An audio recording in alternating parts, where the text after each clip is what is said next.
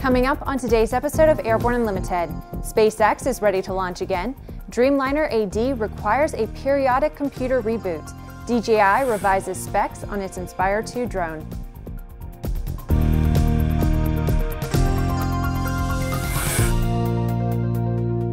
I'm Bree Cross. This is December 6, 2016, and this is Airborne Limited. SpaceX could return to flight by the middle of the month if the FAA approves its next launch, according to SpaceX customer Iridium Communications. Iridium CEO Matt Desch said in a news release that the company has remained confident in SpaceX's ability as a launch partner since it suffered a launch pad explosion at Cape Canaveral, Florida on September 1st. The launch is scheduled on December 16th at 12:36 p.m. Pacific Standard Time from Vandenberg Air Force Base in California, according to the Iridium news release.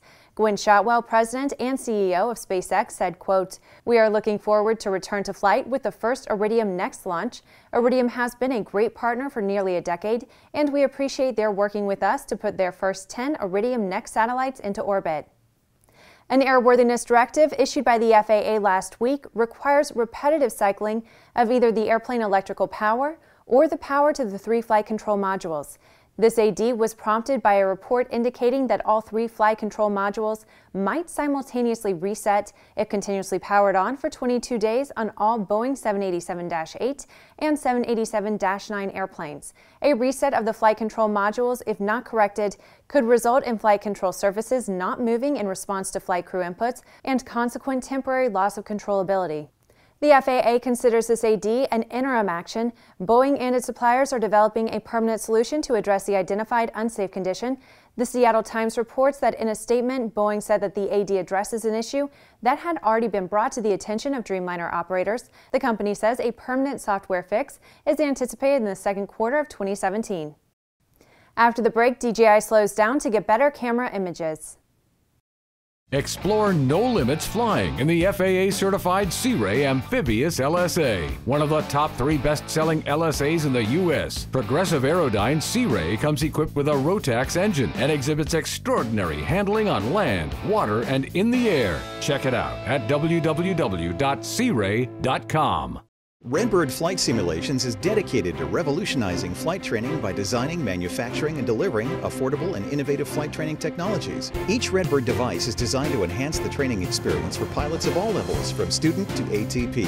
Redbird is quickly becoming the industry standard for flight training. Since Redbird introduced its revolutionary FMX in 2007, colleges, universities, and flight training operations around the world have integrated Redbird products into their curriculum. It's time to discover what Redbird can do for you. Join the migration.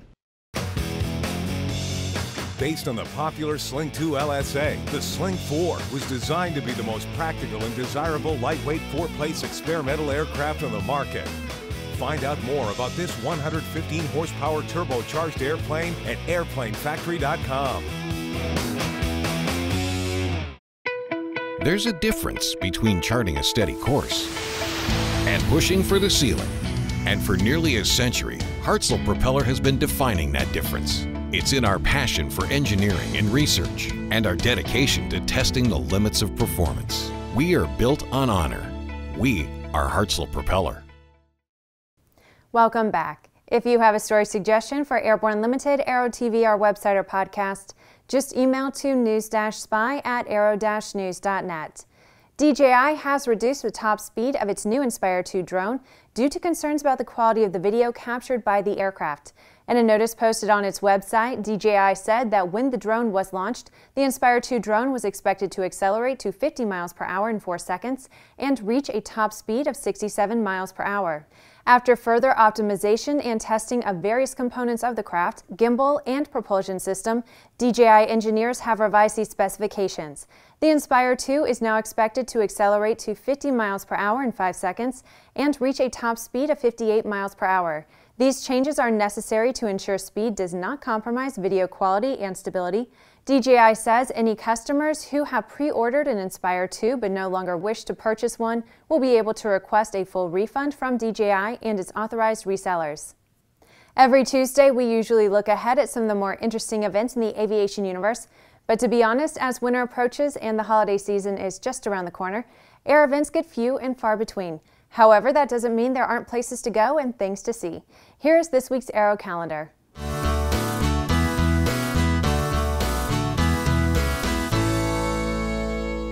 Our first event is a Zenith hands-on kit aircraft building workshop being held at the Zenith factory in Mexico, Missouri on Thursday and Friday, December 8th and 9th. You're invited to participate at a workshop to learn all about building and flying your own Zenith aircraft kit. The workshops are coordinated by the Zenith aircraft staff and held right in the factory. You don't need any experience, skills, or tools to attend. Another way to learn about building your own airplane is to attend one of EAA's Sport Air workshops.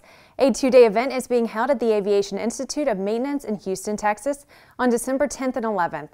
In this workshop, you have a choice of receiving hands-on training and practice in the skills of airplane fabric covering, sheet metal basics, composite construction, and gas welding. It's all real-world stuff and EAA provides all the equipment.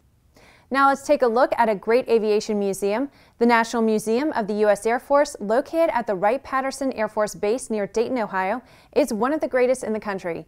Their galleries present military aviation history, boasting more than 360 aerospace vehicles and missiles on display, many rare and one-of-a-kind, along with thousands of historical items and powerful sensory exhibits. Be sure to check out the museum on their website before you go so you can plan your visit.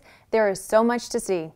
We'll be bringing you more information about some of the great places to visit as our Aero calendar works its way through the winter months. Hang in there, the air shows will be back. After these messages, General Aviation Manufacturers Association welcomes modernization of EASA regulations.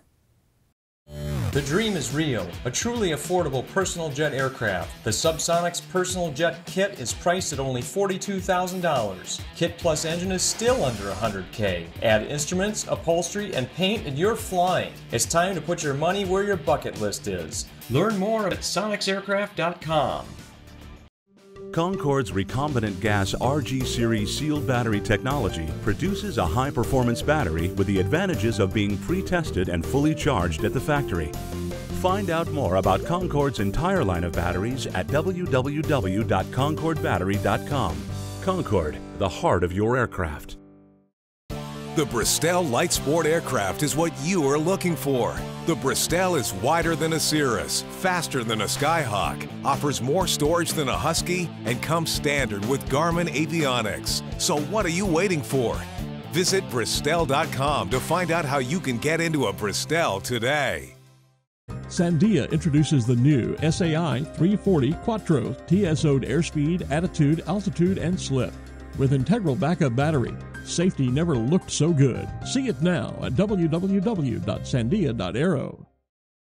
Welcome back. With so much news coming out of the aviation industry, we're summarizing some other interesting stories in a brief segment we call Around the Patch.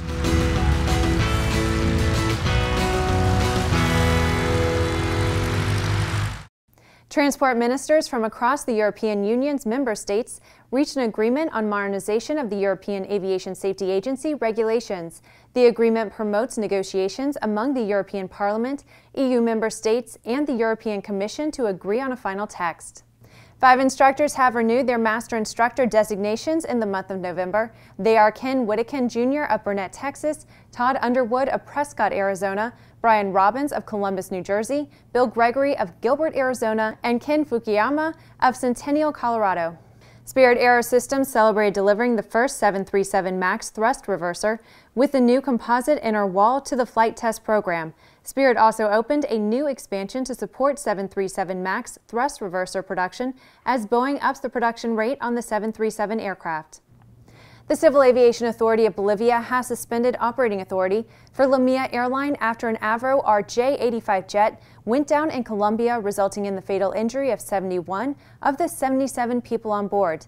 Unsubstantiated reports indicated that the aircraft ran out of fuel.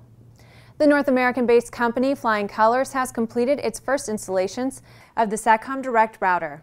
The first was fitted as part of a Bombardier Global 5000 cabin refurbishment package, and the second was a new Global 5000 completion project. Well, that's a trip around the patch. Now let's move on to the rest of the news.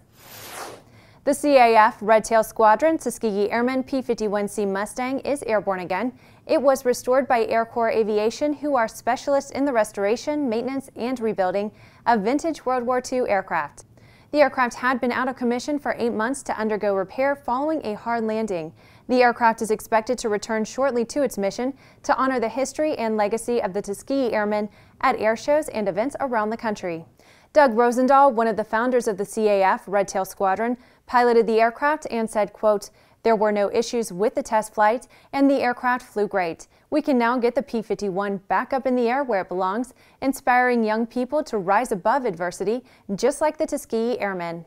The CAF Red Tail Squadron is a volunteer-driven organization dedicated to educating audiences across the country about the history and legacy of the Tuskegee Airmen, America's first black military pilots, and their support personnel. The restored aircraft will be active during the 2017 airshow schedule. Well, that's our program for today. Remember that Airborne Unlimited is streamed daily, Monday through Friday, with additional breaking news bulletins for important stories that fall outside of our normal deadlines. If you're watching us on YouTube, please subscribe and don't forget to check us out on Facebook and Twitter. Get comprehensive real-time 24-7 coverage of the latest aviation and aerospace stories anytime at aero-news.net. We'll see you tomorrow.